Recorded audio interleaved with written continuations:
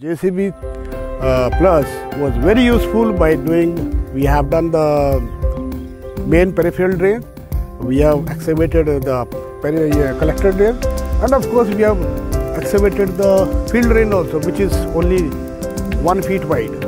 And we have uh, leveled the section, we have leveled the grids between the two drains, and this uh, JCB has done wonder in that matter.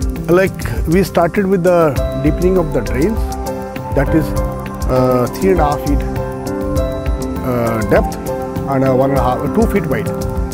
And then we have we have gone into the smaller bucket, which is one feet wide. We have dug up to one feet also, two feet also, three feet also, on different yeah, depth. Then we have dredging the soil. We have leveled the soil, and uh, then we have cleared the jungle also, and uh, we have uprooted one or two small shade also, and uh, tea bush also.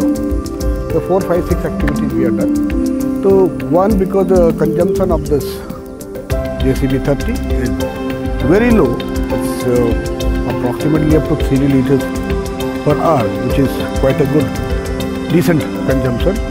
And uh, second thing, it is quite handy because the 360 rotation capacity, capability of performing the task is more.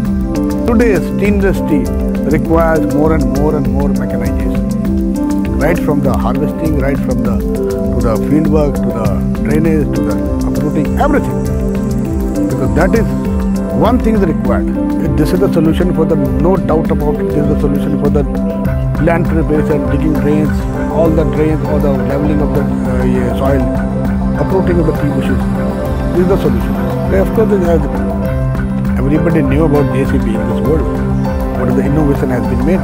It is well it's well distributed over the 12 months.